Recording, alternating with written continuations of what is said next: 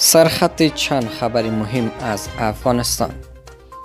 گرفتن امتحان از نمازگزاران در ولایت ارزگان.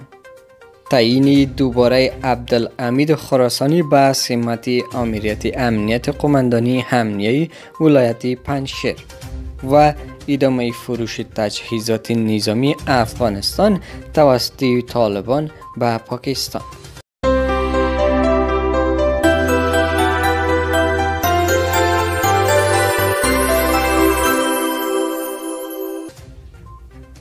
مشروع خبرها.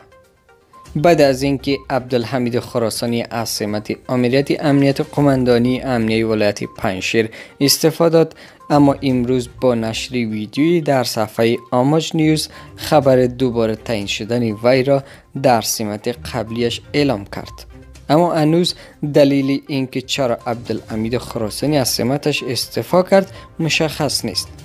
اما بعضی منابع میگن عبدالعمید خراسانی توسط خود طالبان از سمت آمریت امنیتی قماندانی امنی ولایت پنشیر برکنار شده بود.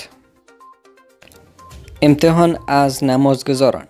اداره امر به معروف و نهی از منکر طالبان در ارزگان به ملاهمامان مساجد هدایت داده است. تا از نمازگزاران امتحان گرفته و اشتباهاتشان را اصلاح کنند. این اداره گفته است که اگر کسی برای یادگیری روش درستی نماز خواندن تلاش نکند مجازات خواهد شد.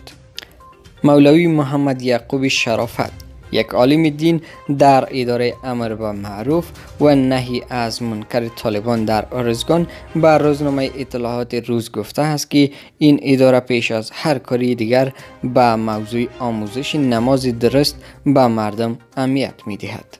شرافت همچنین گفته است که اداره امر به معروف و نهی از منکر وقت به وقت از نمازگزاران خواهد پرسید که نماز را تا چی اندازه درست یاد گرفتهاند به گفته او کسانی که اگر مشخص شد برای یاد گرفتن روشی درست نماز خواندن تلاش نمی کنند مجازات خواهند شد.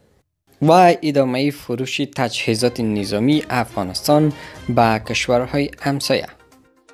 ویدیوها و تصاویر از تانک ها و تجهیزات نظامی افغانستان در صفحات اجتماعی دست به دست می شود که نشان می دهد تانک هایی که به ارزش نیم میلیون دلار است به سوی پاکستان انتقال می شود. این بار نخست نیست که تجهیزات نظامی افغانستان به کشورهای همسایه انتقال می شود. چند ماهی پیش تعداد زیادی از تانک ها و موترهای ارتش افغانستان در تهران دیده شده بود. اما طالبان تا اکنون در این باره اظهار نظری نکرده‌اند. جهان سپاس از اینکه تا آخر این ویدیو با من همراه بودین.